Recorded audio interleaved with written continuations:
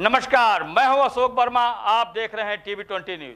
अपने अपने क्षेत्र की खबरें देखने के लिए बने रहिए हमारे साथ। शुरुआत करते हैं खबरों का सिलसिला।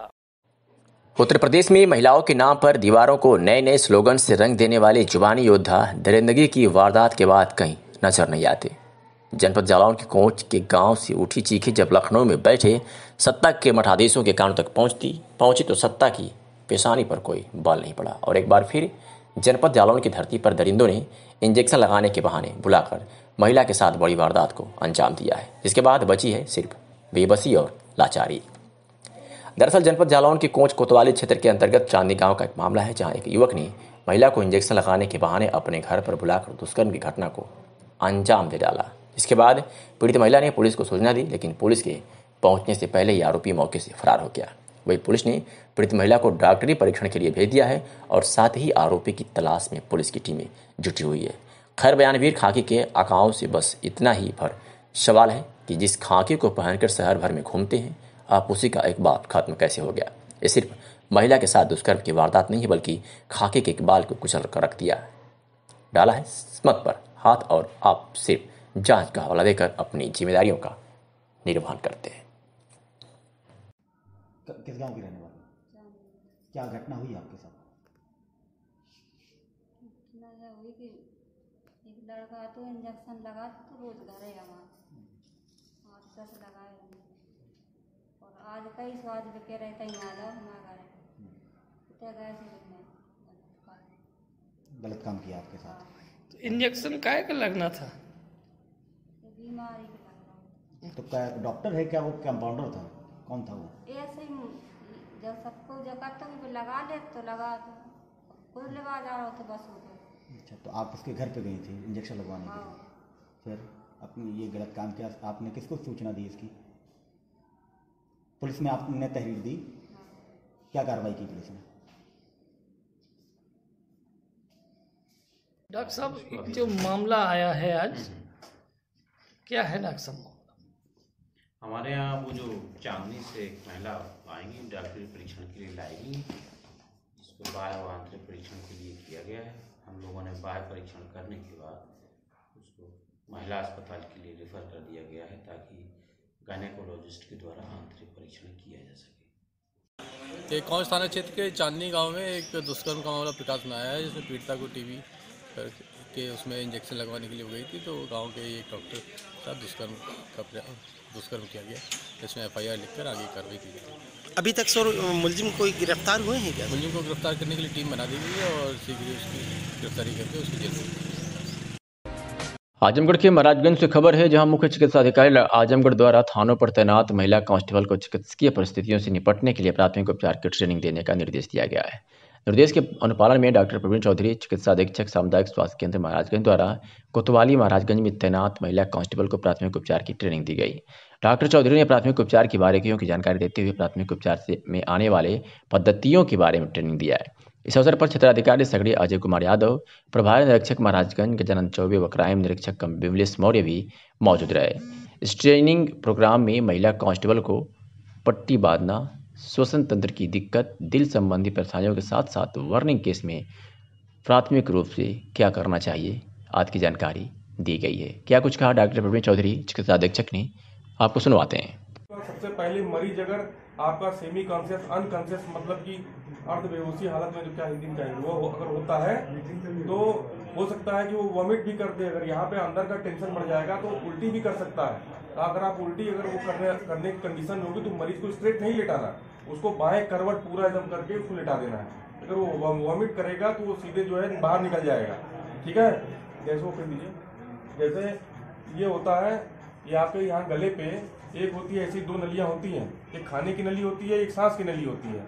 अगर आप उसको करवट नहीं लेंगी तो वो जो जो भी उसका वॉमिटस यानी कि जो उसका उल्टी वाला जो पार्ट है जो अंदर वाला, वो सांस की नली में चला जाएगा। अगर सांस की नली में चला जाएगा तो उसको बचा नहीं पाएँगे। सांस की नली में थोड़ा भी फॉरेन बॉडी चला गया तो रिफ्लक्स में वो खांसेगा, छीकेगा, निकलेगा। अगर नहीं निकला तो मर गया वो। तो ये ध्यान देना है कि अगर सर में चोट लगी है, वो बार बार कह रहा है कि उल्टी आएगी उल्टी आएगी तो उसको बाएँ करवट लेटा देंगे। ठीक है ना? ये ज़रूर ध्यान देना। तो सीधा लेटा के नहीं लाएँगे। इमोबलाइजेशन मैंने बता दिया कि अगर चोट लगती है तो आपको जो है पूरे हाथ को अच्छे से ये सब पैकअप करना है कि वो वो हाथ ना हिला पाए। उससे क्या होता है कि फर्दर स्वेलिंग आगे नहीं आएगी फिर आगे स्वेलिंग नहीं बढ़ेगी फिर। ठीक है ना? इतना ज़रूर करना है आपको। ठीक? और एक बैंडेज अप्लाई कर देना अगर कहीं कटा फटा हो तो। सबसे लास्ट में हम आपको बताएँगे अब माउथ टू माउथ रेस्पिरेशन फ़िलहाल कोरोना चल रहा है अभी नहीं, नहीं करना। लेकिन नॉर्मली इसमें होता है कि अगर लगता है कि वो सांस लेने में उसको दिक्कत हो रही हो तो उसको माउथ टू माउथ रेस्पिरेशन हवा सांस दे सकते हैं आप। लेकिन अभी नहीं करना। अभी कोरोना है। महाराजगंज जनपद के कोतवाली थाना क्षेत्र के बिंदवालिया गाँव में पटीदारों के बीच ज़मीन विवाद में जमकर लाठी डंडा चलने का वीडियो सोशल मीडिया पर वायरल हो रहा है। वायरल वीडियो में महिलाएँ लड़कियों को दौड़ाकर एक युवक डंडे से मार रहा है। कोतवाली थाना क्षेत्र के बिंदवालिया गाँव का पूरा वीडियो है, जिसमें दो पट्टीदार आपस में ज़मीन विवाद को लेकर पहले कहासुनी किए उसके बाद देखते ही देखते दोनों पक्ष आमने सामने हो गए। गाली गलौज के बाद दोनों पक्ष एक दूसरे पर टूट पड़े, फिर लाठी डंडा से एक दूसरे को मारने पीटने लगे। इस मारपीट का पूरा वीडियो किसी ने मोबाइल से बनाकर वायरल कर दिया। वायरल वीडियो के इस प्रकरण में घायल एक महिला के सर में गंभीर चोट लगी है। घायल महिला को मेडिकल कॉलेज में इलाज के लिए भेजा गया है। पुलिस अधीक्षक ने बताया कि कोतवाली पुलिस ने इस मामले में दो महिलाओं को शांति भंग चलान किया है। क्या कुछ कहा प्रदीप गुप्ता एसपी महाराजगंज ने? आपको सुनवाते हैं। विवाद हुआ है उसमें क्या मामला है सर और पुलिस द्वारा किस तरह की कार्रवाई की जा रही है? ये गाँव बिंदवलिया में आपसी जो पट्टीदार हैं उनमें आपस में कुछ ज़मीन के विवाद को लेकर मारपीट हुई है और इसमें मुकदमा पंजीकृत कर लिया गया है। दो महिलाओं को इसमें गिरफ़्तार भी किया गया है। ज़्यादा महिलाएँ ही थीं इसमें आपस में और बाकी जाँच की जा रही है। सर चोटें भी लगी हैं? एक महिला के सर में कुछ चोट आई है। वो ठीक है। अभी तक सर क्या कर दो महिलाओं की गिरफ्तारी हुई है और बाकी जो अन्य लोग हैं उनकी भी गिरफ्तारी का प्रयास हो रहा है। आजमगढ़ में विगत दिनों पुलिस टीम पर हमले करने व पुलिस कार में बाधा डालने के मामले में पुलिस अधीक्षक के निर्देश पर दीदारगंज पुलिस ने रविकांत सहित उनके कुछ साथियों को गिरफ़्तार कर जेल भेज दिया था जबकि पूर्व सांसद उमाकांत पहले से ही जेल में बंद है। पुलिस अधीक्षक ने बताया कि उमाकांत यादव रविकांत सहित उनके कुछ साथियों के ऊपर गैंगस्टर के तहत कार्रवाई की गई है। साथ ही वारंट बनवाए जा रहे हैं कि इन लोगों ने क्राइम के बल पर कितनी संपत्ति इकट्ठा की है। इसकी जब्ती की कार्रवाई की जा रही है। आज सुनाते हैं कि एस पी आजमगढ़ ने इस बारे में क्या कुछ कहा। देखिए, ये एक मुकदमा कायम हुआ था पहले, जिसमें पूर्व सांसद उमाकांत यादव के लड़के रविकांत यादव और उनके साथियों पर मुकदमा कायम हुआ था। पुलिस पर हमला करने के संबंध में, पुलिस के कार्य में बाधा डालने के संबंध में इस संबंध में मुकदमा कायम होने के उपरांत रविकांत यादव और उसके साथी जेल भेजे गए थे। उमाकांत यादव पहले से ही जेल में है। इनकी पूर्व हिस्ट्री को सम्मिलित करते हुए जो इनके द्वारा जो माफियागिरी चलाई जा रही थी, उसको दृष्टिगत रखते हुए उमाकांत यादव, रविकांत यादव और उसके साथियों पर गैंगस्टर एक्ट का मुकदमा थाना दीदारगंज में दर्ज किया गया है। इनके वारंट बनवाए जा रहे हैं, क्योंकि ये लोग जेल में हैं। और इसके उपरांत इनकी प्रॉपर्टी जो कि इनके द्वारा क्राइम से अर्जित की गई है उसे सीजर करने की कार्रवाई की जाएगी। ठीक सर। यूपी के औरैया जनपद में आज यूपी के पूर्व सीएम अखिलेश यादव अजितमल तहसील क्षेत्र के बाबरपुर कस्बे स्थित गेस्ट हाउस में पहुँचे। गेस्ट हाउस में पूर्व सीएम अखिलेश यादव के पहुँचने पर वहाँ मौजूद सपा जिलाध्यक्ष समेत पूर्व सांसद और विधायक समेत सैकड़ों की संख्या में पार्टी कार्यकर्ता मौजूद थे। गेस्ट हाउस में पूर्व सीएम ने कार्यकर्ताओं के साथ वार्तालाप कर आगामी चुनाव को लेकर जोश भरा। पूर्व सीएम अखिलेश यादव ने भाजपा सरकार पर निशाना साधते हुए कहा कि भाजपा सरकार की बढ़ती महँगाई ने चाय की स्वाद को भी बेकार कर डाला। सूबे में कानून व्यवस्था को ध्वस्त बताते हुए सपा के राष्ट्रीय अध्यक्ष ने बताया कि सूबे में कहीं भी बेटियाँ, महिलाएँ सुरक्षित नहीं है। डायल एक सौ बारह व एंबुलेंस सपा सरकार की देन है, जिसमें जिसे भी वर्तमान सरकार ने बिगाड़ डाला। आगामी चुनाव को लेकर पूर्व सीएम ने बताया कि वर्ष 2022 में सभी छोटी पार्टियों को शामिल किया जाएगा। आप पता नहीं कौन तुम्हारे व्हाट्सएप पे सवाल भेजा कौन पूछ पा रहे हो? मैं आपसे बता दूँ, मैं आपसे बता दूँ। नहीं, मैं बता दूँ। समाजवादी पार्टी ने एंबुलेंस दी है और आज भी सड़क पे वही एंबुलेंस मदद कर रही है गरीब एंबुलेंस और अच्छी देंगे, ज़्यादा संख्या में बढ़ाएँगे। पुलिस को और इंतज़ाम क्या बेहतर कर सकते हैं जिससे जनता को न्याय मिले और समय पर अपराधियों के खिलाफ कार्रवाई हो सके वो इंतज़ाम करेंगे। लैपटॉप देंगे कॉलेज यूनिवर्सिटी मेडिकल कॉलेज बनाएँगे, सड़कें अच्छी बनाएँगे एक्सप्रेस वे बनाएँगे। हमारे मुख्यमंत्री जो तो एक्सप्रेस वे वही बना रहे हैं, जो समाजवादियों ने आगे बढ़ाई थी। और इटावा से इतनी नफरत थी उन्हें औरैया से इतनी नफरत थी कि इटावा का नक्शा ही नहीं जानते थे औरैया का नक्शा नहीं जानते थे। पता लगा बुंदेलखंड से एक्सप्रेस वे औरैया इटावा होकर के जा रहा है। ठीक है। अपने जितने भी पत्रकार साथी हैं उनका धन्यवाद देता हूँ। साथ ही साथ समाजवादी पार्टी के हमारे नेता हमारी पार्टी के बड़ी संख्या में कार्यकर्ता और जिनके बुलाने पर हम सब लोग आए हैं चाय पर। अभी चाय मिलेगी इसके बाद पहले स्वागत और आपसे बातचीत, उसके बाद चाय। और चाय पे मिलना, इससे अच्छा कुछ हो नहीं सकता। चाय पे मुलाकात और हो जाए चाय पे मुलाकात तो फिर यादगार होती है। लेकिन इधर महँगाई इतनी बड़ी है, डीजल, पेट्रोल की इतनी कीमत बढ़ गई है कि इससे ज़्यादा चाय का नुकसान कोई कर नहीं सकता। था जो भारतीय जनता पार्टी ने कर दिया अगर भारतीय जनता पार्टी से ये जाना जाए और पूछा जाए, जनता अगर ये सुनना चाहे कि आखिरकार इसका कारण क्या है कि आप महँगाई दिन प्रतिदिन बढ़ा रहे हैं। डीजल की कीमत बढ़ गई, पेट्रोल की कीमत बढ़ गई, और जिस समय इनकी कीमत बढ़ती है, उस समय बाज़ार में और पूरे की पूरे समाज में महँगाई आ जाती है। तो ये सरकार जो कीमतें बढ़ा रही है, वो कहीं ना कहीं महँगाई बढ़ा रही है। और इतनी महँगाई बढ़ गई है कि जिसकी हम कल्पना नहीं कर सकते। उज्ज्वला जैसी जो फ्री योजना गरीबों के लिए सिलेंडर भी नहीं भराया जा रहा महँगाई बढ़ रही, काम है नहीं नौजवानों में, नौकरी है नहीं, रोज़गार है नहीं। यही नौजवान भारतीय जनता पार्टी से जानना चाहते हैं। कि आपने बड़े बड़े वादे किए थे, आज हमारे हाथ में काम, रोज़गार, नौकरी क्यों नहीं है? किसान जो सबसे ज़्यादा मेहनत करता है, इस वैश्विक महामारी के कारण सब कुछ बंद हो गया।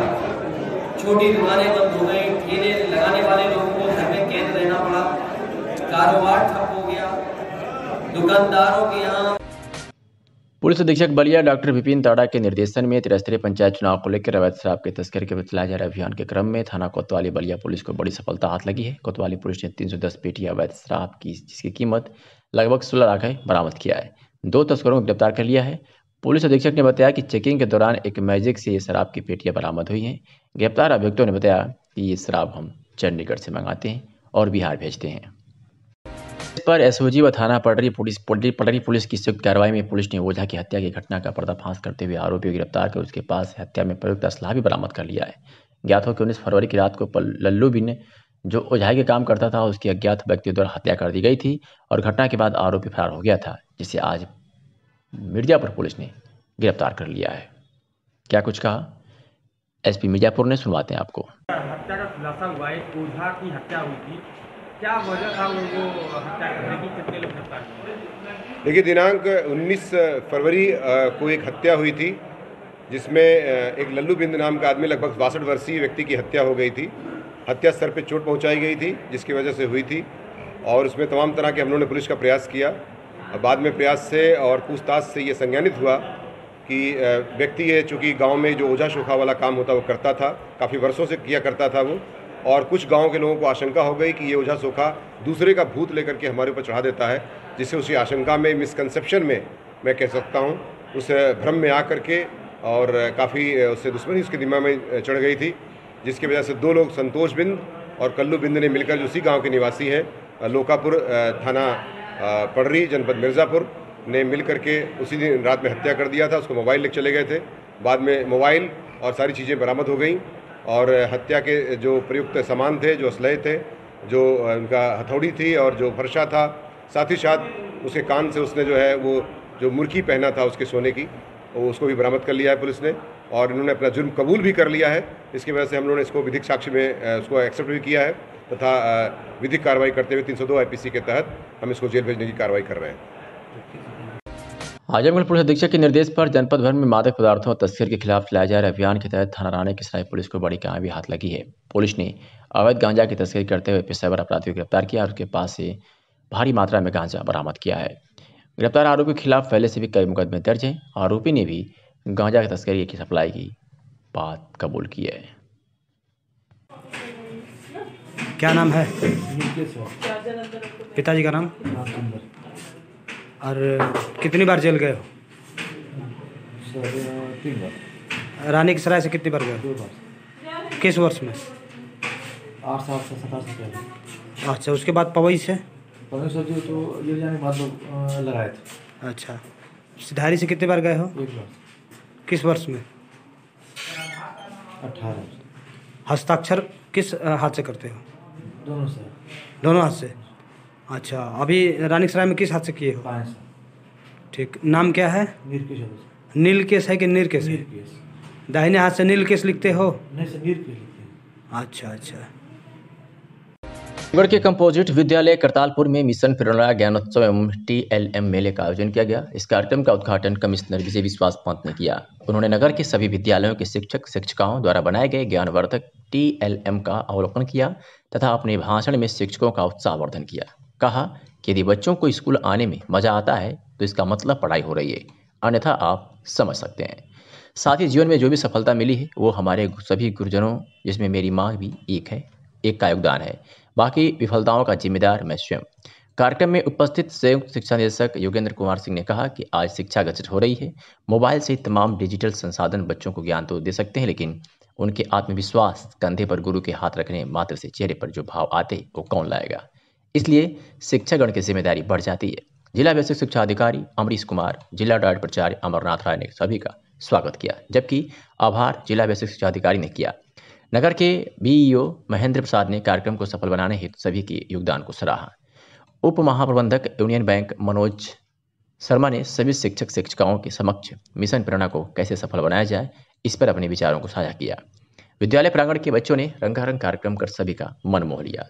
विद्यालय की प्रधानाध्यापिका संध्या तिवारी ने कार्यक्रम को सफल बनाने के लिए अजेंद्र राय, अमरीश श्रीवास्तव, प्रतिभा श्रीवास्तव, डायट मेंटर प्रीति कोंड, इंद्रासन पांडे, नेहा राय, आलोक श्रीवास्तव, धनंजय मिश्रा, कैलाश विजयवर्गीय को मोमेंटो प्रदान किया।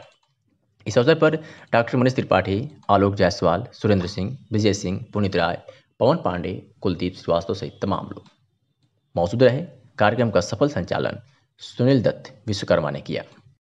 पार्टी की मासिक बैठक पार्टी कार्यालय पर निवर्तमान जिला अध्यक्ष हवलदार यादव की अध्यक्षता में संपन्न हुई। बैठक का संचालन महासचिव हरिप्रसाद दुबे ने किया। बैठक में गोपालपुर विधायक नफीस अहमद को सुन्नी वक्फ बोर्ड का निर्विरोध सदस्य बनाए जाने पर राष्ट्रीय अध्यक्ष अखिलेश यादव को धन्यवाद दिया।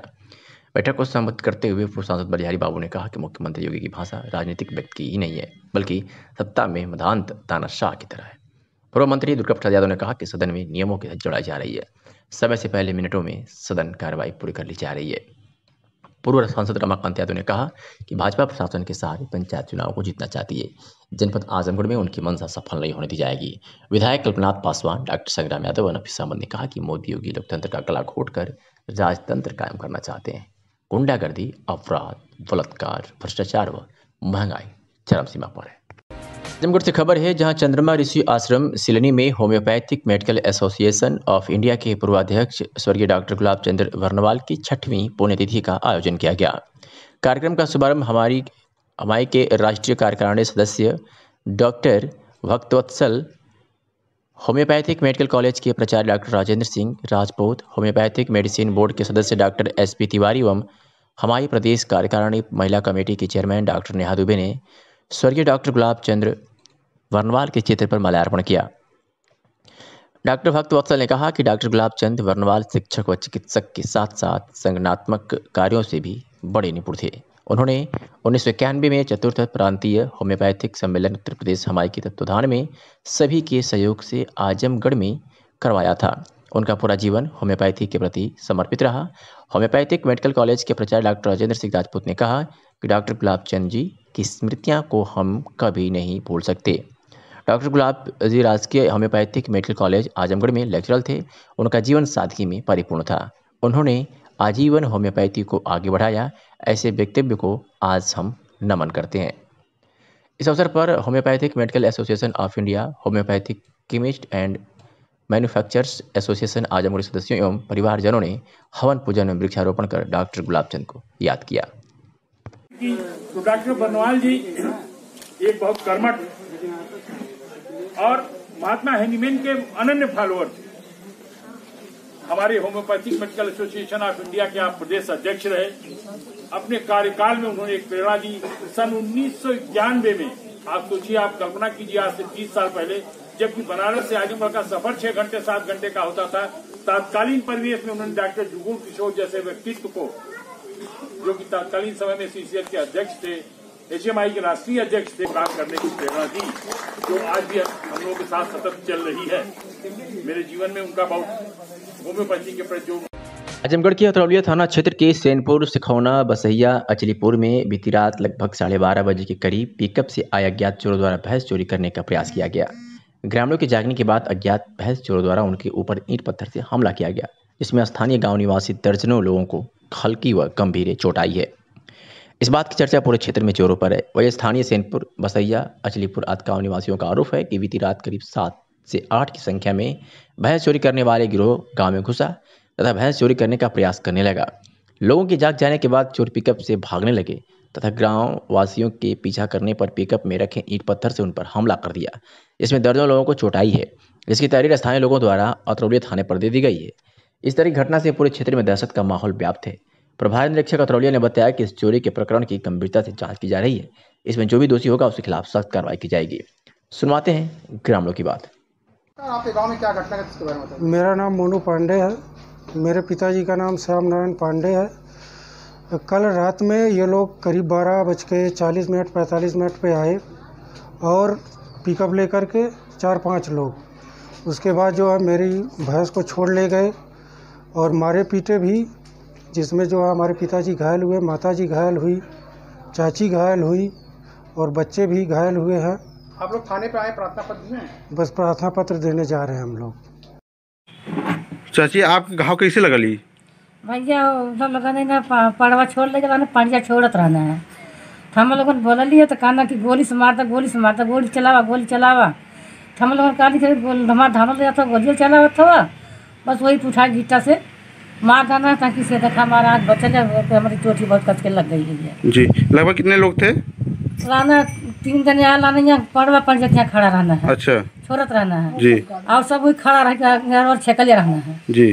जब लोगन बोल लगले तो कहना कि गोली चलाओ गोली चलाओ। कुल बहुत बोलते हैं गोली चलाओ जल्दी से। कौन गाड़ी से रहना कुछ गाड़ी पिकअप रहा पिकअप रहा? हाँ। अच्छा अच्छा। जिला कांग्रेस कमेटी के अध्यक्ष प्रवीण कुमार सिंह की अध्यक्षता में कांग्रेस जनों की एक बैठक M I M girls PG college Kolghat में संपन्न हुई। बैठक में पंचायत चुनाव एवं अन्य सांगठनिक राजनीतिक मुद्दों पर विचार विमर्श किया गया। जिलाध्यक्ष प्रवीण कुमार सिंह ने कहा कि सभी ब्लॉक अध्यक्ष अपने अपने ब्लॉकों से 10 मार्च 2021 तक प्रत्याशियों से आवेदन प्राप्त कर जिला कार्यालय पर उपलब्ध कराएँ। उस पर पंचायत चुनाव कमेटी विचार का अंत कर अंतिम निर्णय लेकर प्रत्याशियों की सूची जारी करेगी। पंचायत चुनाव में हम निर्विवाद एक स्वच्छ छवि के जनप्रिय प्रत्याशियों को मैदान में उतारेंगे और पूरी क्षमता से उन्हें चुनाव लड़ाया जाएगा। आज आमजन लगातार बढ़ रही महँगाई, डीजल, पेट्रोल, एलपीजी, गैस के मूल्य में बेतासा वृद्धि त्रस्त है। प्रदेश में अपराध चरम पर है, जंगल राज की स्थिति है। तो वही तीन किसान विरोधी काले कानून को लेकर किसानों में आक्रोश है। हम जनता के बीच जाकर ग्राम पंचायत स्तर पर चौपालों के माध्यम से जन विरोधी सरकार की पोल खोलेंगे और अपने प्रत्याशियों के पक्ष में सहयोग की अपील करेंगे। भाजपा और सपा दोनों से अगर लड़ रहा है, दोनों मोर्चों तो मैं समझता हूँ कार्यकर्ताओं के दम पर संभव हुआ है। मैं सिर्फ़ एक काम करता हूँ सबकी नाराज़गी को नाराज़गी को मैं पी रहा हूँ। हमको दो लोग आजमगढ़ के अतरौलिया क्षेत्र के बूढ़नपुर गाँव में जैसे ही आवारा पशुओं से राहत मिली, लेकिन अब नीलगायों का आतंक से अब किसान परेशान है।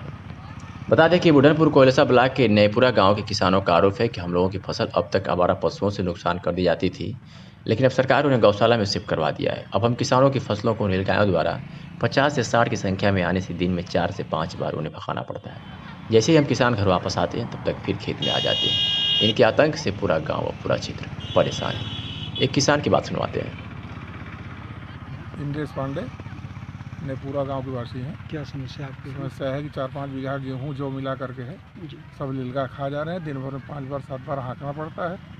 लेकिन हाँक के आइए फिर तुरंत जो है आधे घंटे के अंदर खेत में आ जाते हैं। अच्छा इसके पहले तो जो बछड़े गाय थी नहीं बछड़े गाय तो फ़िलहाल यहाँ पे नहीं है।